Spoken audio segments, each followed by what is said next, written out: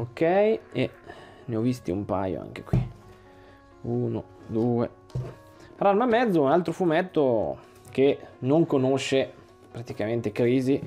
Ormai è uscito da diversi anni fa.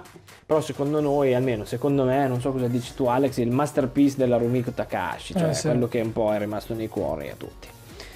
Allora qui ancora ristampe. Berserk. Berserk 23-24 collection nera lo mettiamo vicino alla Goblin Slayer che più o meno sono fantasy e assai violenti tutti e due. E poi abbiamo Nana e Kaoru nuovo. Sì.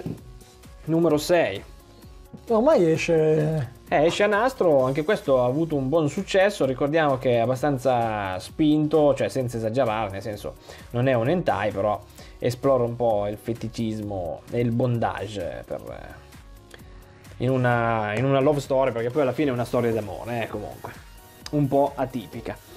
Fairy Tail numero 59, Novità. novità della settimana anche lui la versione liscia diciamo quella base Classica. esatto. classica con la copertina marroncina ricordiamo che c'è anche poi la versione bianca Dr. Stone il numero Oh. 2 anche questo molto atteso ne abbiamo parlato un paio di puntate fa in Kiba Style. Ricordiamo la nostra trasmissione radiofonica eh, appunto tutti i martedì sera dalle 22 in diretta su Radio Vertigo 1 con il disegno di Boichi. Quindi recuperatevi la, la replica della puntata se volete saperne di più. Ristampone anche qua attenzione. Torna Kenny il guerriero amici il numero 1 Eh sì, stanno ristampando. eh. il grido del cuore. Questo sottotitolo mi suona abbastanza strano, però comunque. Perché nel guerriero, ragazzi, se non l'avete mai letto, assolutamente non avete scuse. Disegno sempre al top per quanto siano passati diversi anni, perché è un fumetto degli anni 80. E vabbè, un mito intramontabile. Poi abbiamo Ghost In, la locanda di Yuna, e direi che è il numero 7. Sembrava un 1, ma invece è un 7. Ecco qua. Anche qui, diciamo, non si lesina in, in belle figliole, foto, cioè foto, scusate, vignette abbastanza provocanti, ma comunque si tratta di un fumetto comico anche qui. Ne abbiamo altri tre numeri. Eccoli qua. Oh, il numero 2 di Goblin Slayer, anche qua, eccolo, lo mettiamo in zona punti, questa è la novità invece della settimana. Vediamo che compaiono gli altri personaggi, quindi l'elfa che si unisce dopo alla compagnia, nella prima copertina c'erano soltanto i due personaggi iniziali e qui già, eh, esatto, c'è tut- tutti i personaggi che poi formeranno il party del, del- del Goblin Slayer.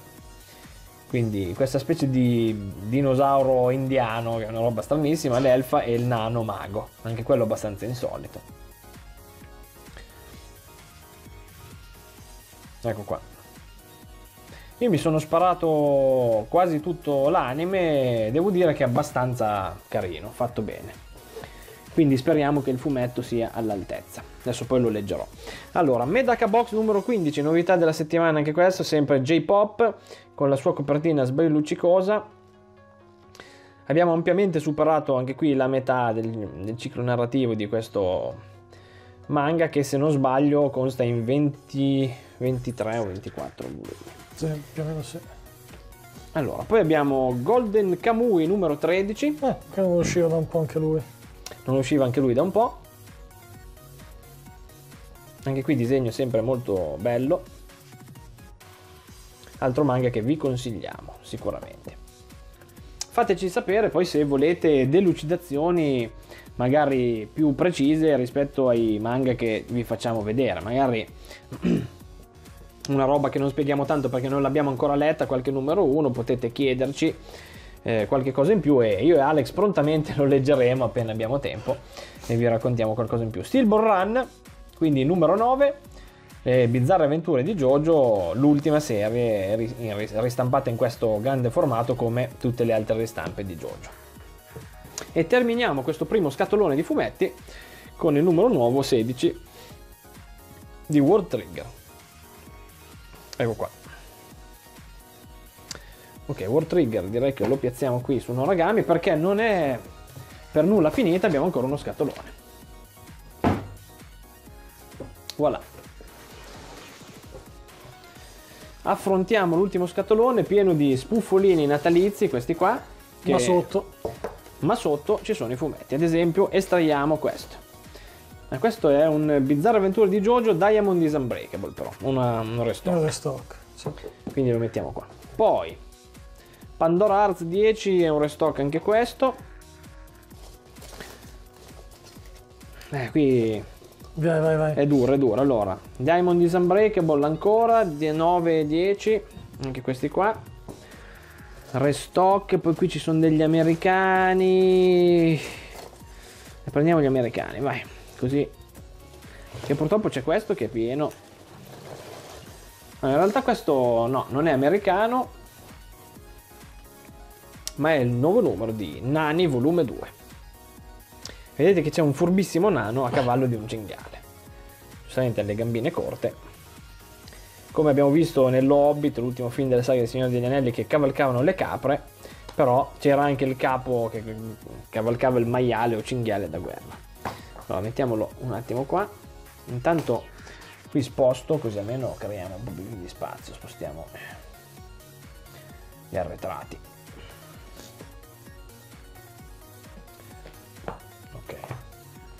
Perché sa che gli americani di solito li mettiamo qui a bordo pista. Ok, poi qua abbiamo in ordine Star Wars numero 42 e lo piazziamo qui. Poi abbiamo Deadpool, il numero 3 che poi vabbè in realtà è sempre la continuazione, però è praticamente il eh, mini reboot nuovo. Tanto sposto anche questi, quindi ci stiamo. E lo piazziamo qua. E poi qui abbiamo ancora Star Wars sempre. E questo cosa sarà? Wonder Woman. Eccolo qua.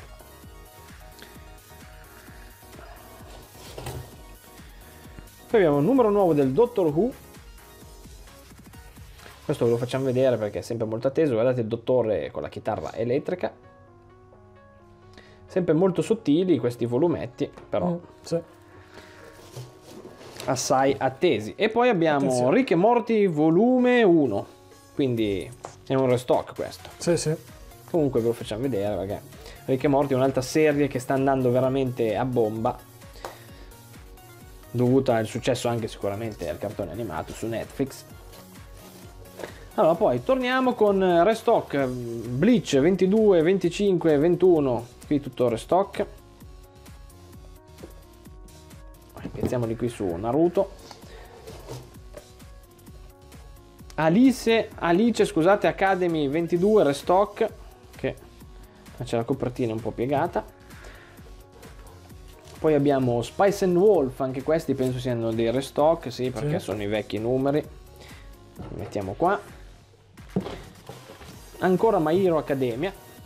Ma tutto l'abbiamo preso proprio. Tutto, tutto. Ce l'hanno ordinato in blocco. Boh, e allora, ecco qua, questi sono il numero 3, 10 e 2, numeri a caso. Ancora Jojo, Diamond is Unbreakable, lo mettiamo sotto qua. Eh, ci sono un bel po' di, di restock per il Natale. In tanti avete scelto di regalare manga ai vostri amici. Numero 1 di My Hero Academia. Radiant numero 7 invece No. dovrebbe essere novità. Ok. New. Ecco qua. È il protagonista lui Sì, sì. di Radiant. Ok, perché Radiant eh, onestamente non lo conosco. Quindi, amici, Eh, si basa su poteri magici. sì, classico show. Eh, sì, la magia viene chiamata fantasia, fanta... fa- Bah, vabbè. Ah, quindi sono maghi questi qua. Sì, sì, sì, che sì. si trasformano Sì. anche. Ok. Mettiamolo qui. Mettiamo qui il nostro Radiant. Aspetta che faccio un change qua perché sennò Ranma copre tutti i fumetti. E procediamo, procediamo con Pandora Hearts ancora, c'è un po' di numeri, sono tutti, tutti restock. Poi Bleach 23. Qui abbiamo un volume della serie Osamu Ah. Tezuka, MV il numero 2. È arrivato. Che è arrivato, eccolo qui. Ricordiamo nuova sempre da J-Pop, eh, serie prestigiosa. Sono tutti vecchi capolavori di Osamu Tezuka. Chiaramente il disegno è abbastanza datato, è quello di quegli anni e comunque ciò non toglie che siano assolutamente consigliati da leggere. Poi qui c'è roba imbustata e si tratta di Dylan Dog, nuovo numero. Con, carte, cosa c'è? Mm, sì, i tarocchi. Tarocchi? I fantastici tarocchi dell'incubo di Dylan Dog, che tra l'altro sono anche molto belli. Ho visto qualcuno che ne aveva postati una foto e nelle prossime in regalo i primi 20 tarocchi dell'incubo e il catalogo vabbè, Sergio Bonelli, ok, quindi venite a prendere da noi Dylan Dog e avrete la prima parte dei fantastici tarocchi dell'incubo. E forse siamo quasi alla fine, eh, ragazzi. Dai, dai. C'è un qualcosa di imbustato, Pensavo peggio, eh, pensavo andassimo più lunghi, invece invece sì, abbiamo finito.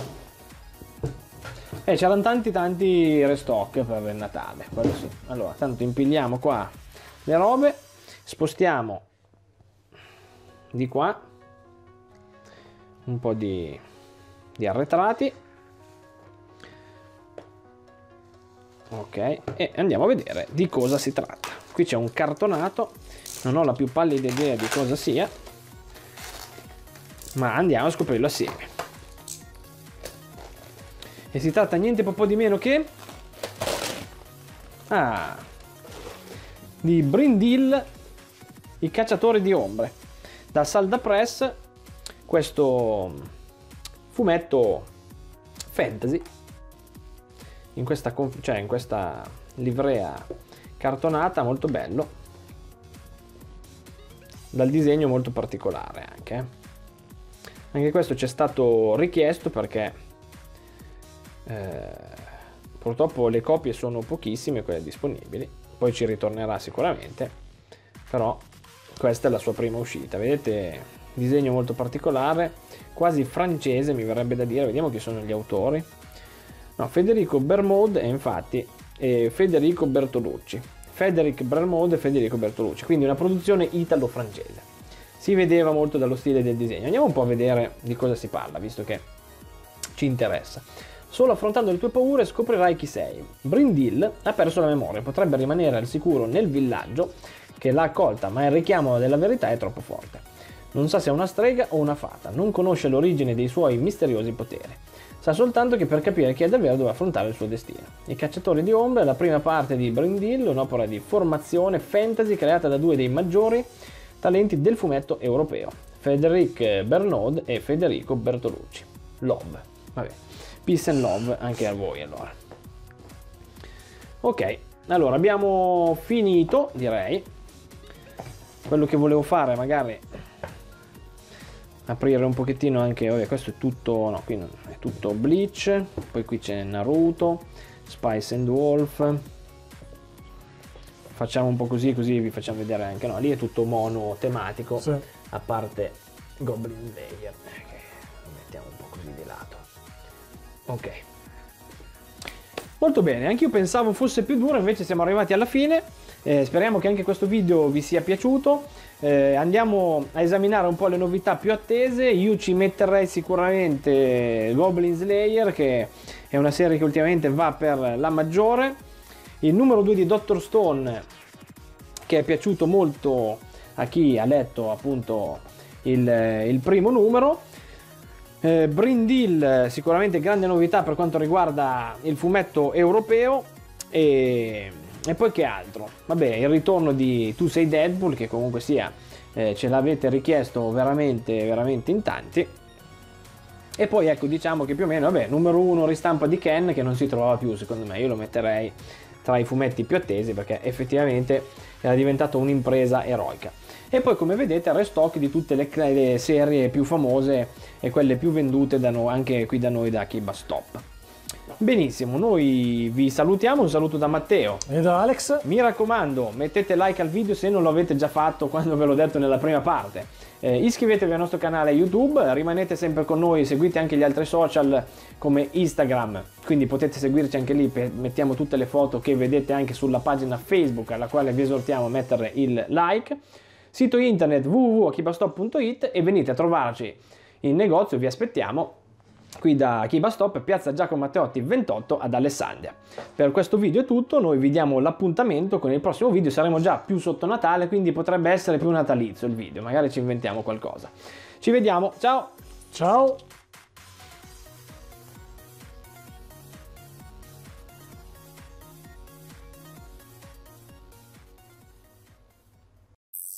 Akiba Stop! Akiba Stop!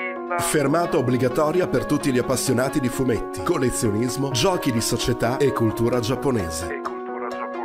Akiba Stop, piazza Giacomo Matteotti 28, Alessandria. Seguiteci su Facebook, YouTube e www.akibastop.it www.akibastop.it